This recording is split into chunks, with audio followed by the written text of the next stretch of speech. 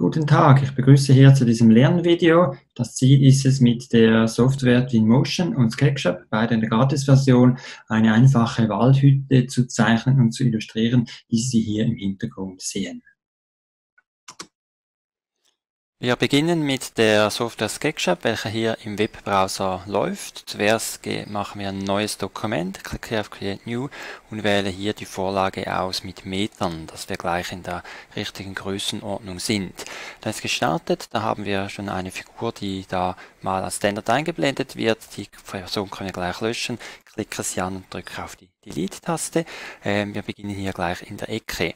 Um das Ganze hier etwas verschieben zu können, haben wir hier auf der linken Seite einige Funktionen. Ganz unten ist momentan Orbit dargestellt. Das heißt, wenn ich das jetzt auswähle, dann ist dieses Symbol, dann kann ich da etwas drehen. Wenn ich das ganz verschieben möchte, finde ich das ebenfalls hier drin, diesem Handsymbol, um das hier etwas äh, zurechtzuschieben.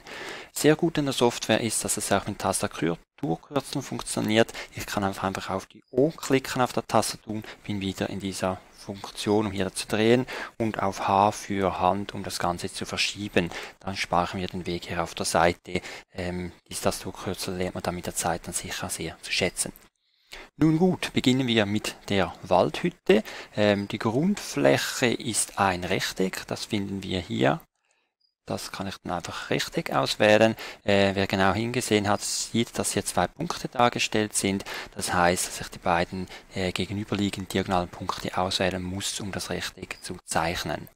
Ich beginne hier mal am Ursprung, das macht das Ganze vielleicht etwas einfacher und gehe mal hier nach vorne. Ich könnte jetzt das einfach zeichnen, aufs Geratewohl oder unten rechts hinschauen, da steht die Größe, momentan 0,95 Meter auf 1,5 Meter. Ich mache hier einfach mal eine Grundfläche von 5 auf 5 Metern. Ich kann jetzt direkt in der Tastatur eine 5,5 eintippen und Enter drücken und das Rechteck wurde gezeichnet. Ich klicke jetzt nochmals auf das H, um hier das Ganze etwas zu verschieben und mit dem Mausrad kann ich hier auch die Größe etwas anpassen. Das wäre jetzt mal die Grundfläche. Machen wir drei Seitenwände von dieser Waldhütte. Äh, ich beginne hier in dieser Ecke. Äh, es lohnt sich da, ja mit der Zeit hat man etwas Übung, sich zu überlegen, welche Ecke man beginnt. Ähm, das wird dann einfacher, weil hier aber auf der anderen Seite diese Diagonale. Ich bin jetzt gleich hier drauf gesprungen und Sie haben gesehen, dass es vorher war es blau, das heißt es ist hier in der ähm, horizontalen Ebene und jetzt ist es nach oben in dieser Ebene. Auch jetzt kann ich hier die Zahlen wieder eingeben. Ähm, sagen wir, das ist jetzt etwas weniger hoch, vielleicht nur 3 Meter hoch, 3,5 eingetippt Tastatur, wird mit Enter bestätigt und das ist jetzt die Höhe dieser Seitenwand. Wenn ich an dieser Ecke beginne, kann ich direkt auf die gegenüberliegende Seite gehen. Es wurde hier grün äh, hervorgehoben, das Rechteck, um zu zeigen, dass es jetzt wieder nicht irgendwie im Raum liegt, sondern eben äh, parallel zur Grundebene liegt klicke mit der Maus, das wurde bereits gezeichnet, und dann noch die dritte Seite von unserer Waldhütte, die momentan vielleicht noch eher wie eine Schachtel ausschaut. Um hier wieder in den neutralen Modus zu kommen, um auch Objekte auszuwählen, klicke ich auf den Pfeil oder das Tastaturkürzel dazu wäre die Leertaste. Das wäre mal so die Waldhütte. Allerdings fehlt noch das Dach, das sagen wir gleich nachher. Und unten ist jetzt auch noch sehr dünne Wände. Das ist nicht realistisch. Wir brauchen da ja eine dreidimensionale Hütte. Das heißt, wir müssen da die Wände etwas verstärken. Dazu gibt es in SketchUp ein sehr gutes Werkzeug. Das finden wir hier, das Push-Pull-Werkzeug. Äh, Kürzel wäre hier die Taste P. Ähm, wenn ich da auf eine Ebene gehe, ist die gepunktet, das heißt, die wird markiert. Ich klicke sie an und gehe jetzt nach oben. Das heißt, sie würde dann nach oben verschoben.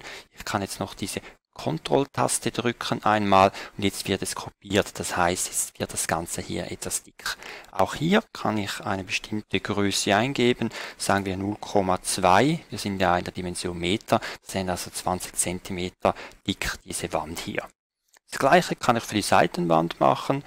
Da ist es jetzt schon äh, sich vorgemerkt, dass das Ganze kopiert wird. Sagen wir 0,05. Wir möchten ja vielleicht eine Bretterwand simulieren von dieser Hütte hier. Bei hinten wäre es das gleiche. 0,05 und dann hier auch auf dieser Seitenwand 0,05 und Enter bestätigt. Und wir haben schon den Grundbau. Ich drücke auf die Leertaste, um hier wieder neutral äh, zu, äh, auszuwählen.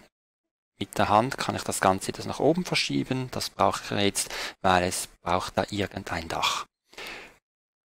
Machen wir zuerst eine Grundfläche. Ich beginne hier ganz außen und gehe wieder auf die Seite ganz außen und habe jetzt eine Art Dach darauf. Es hat hier gleich vorne noch geschlossen. Kein Problem. Ich drücke Leertaste, wähle das aus, mache es Delete und es ist vorne wieder offen.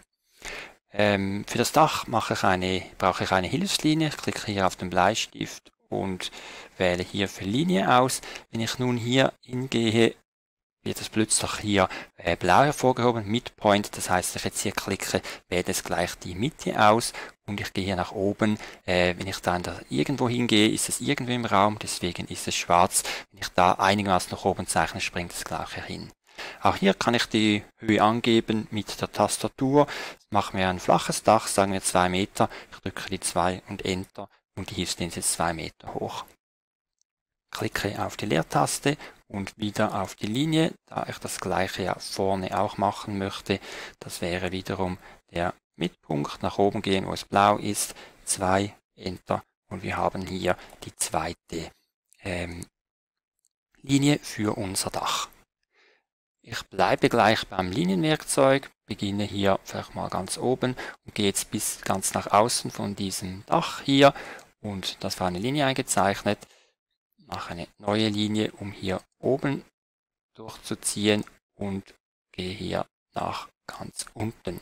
Und das Ganze wurde hier bereits jetzt gefüllt mit diesen Flächeninhalten. Das Ganze auf die andere Seite oben beginnen bis ganz nach hinten klicken, dann ebenso hier ganz nach außen. Wir haben hier schon ein sehr einfaches Dach und somit eigentlich auch schon eine sehr einfache Hütte. Ähm, wenn ich das Ganze jetzt hier herunterladen möchte, weil ich es ja in Twinmotion weiterverwenden möchte, klicke ich auf dieses Symbol hier und das Ganze wäre dann Download. Da ist es ähm, in diesem Format, das ist geeignet auch für den Motion. Da muss ich eigentlich gar nichts exportieren, sondern kann es einfach speichern. Wähle da einen Ordner aus, Waldhütte auf meiner lokalen Festplatte und das Objekt ist unten und für den Moment sind wir bereits fertig in SketchUp. Ich befinde mich nun in der Software Motion. Ich habe ja bereits das Wiese kreiert, aber es geht hier einfach darum, diese Waldhütte zu platzieren. Das erreiche ich, indem ich hier auf äh, Import klicke, dann auf das Plus dann auf Open. Nun wähle ich äh, mein Dokument aus, waldhütte.skp, was ich ja vorhin bei SketchUp generiert habe. Okay, und sie ist hier nun erschienen.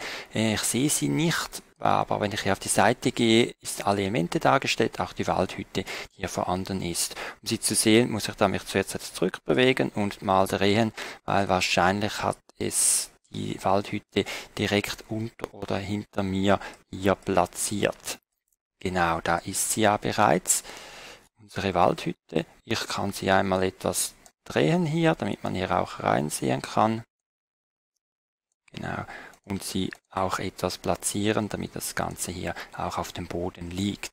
Ich gehe noch etwas näher ran hier, um die Waldhütte hier wirklich gut darstellen zu können. Das wäre es eigentlich schon, allerdings schaut das noch lange nicht realistisch aus, weil das Material hier natürlich völlig falsch ist. Ich gehe hier auf ähm, also wenn das nicht vorhanden ist, hier einfach klicken. Das wäre normalerweise ausgeblendet. Jetzt ist es eingeblendet. Da habe ich verschiedene Optionen in dieser Library. Ich muss jetzt hier auf Materialien gehen, Materials. Da kann ich auswählen. Für die Waldhütte wäre wahrscheinlich etwas mit Holz passend. Da gibt es verschiedene Vorlagen. Wenn ich da eines auswählen möchte, beispielsweise hier die Chestnut, dann ziehe ich einfach das Material auf die Hütte und, Hütte und so schaut das dann aus. Ähm, da könnte ich noch die Größe anpassen, wenn jetzt da diese Platten etwas zu groß oder zu klein sind, aber ich glaube, das schaut schon ziemlich realistisch aus für so eine ja, einfach etwas noble Waldhütte. Ähm, Was wir hier auch finden, sind nicht nur Materialien, sondern auch Gegenstände. Für eine Waldhütte braucht es etwas Wald, finden wir bei den Bäumen. Da auch eine sehr große Auswahl. Ähm, da können wir auch einen nehmen und gleich hier auch dazu nehmen. Das geht gleich mit Schatten, können wir da den Baum dazu wählen und das wäre jetzt schon ziemlich realistisch. Ich kann hier auch äh, noch etwas einen anderen Baum hier zeichnen, noch einen mit etwas Obst und das äh, haben wir schon die Waldhütte eigentlich platziert. Gehe nochmals zurück. Es gibt hier noch sehr viele weitere verschiedene Pflanzen, die ich platzieren könnte, aber äh, vielleicht noch einen Charakter. Wir können noch ein Tier wählen. Da haben wir äh, nicht sehr viele Waldtiere, aber ich kann ja möglicherweise mal die Caprice wählen, was da das Pferd ist und das ist ebenfalls animiert.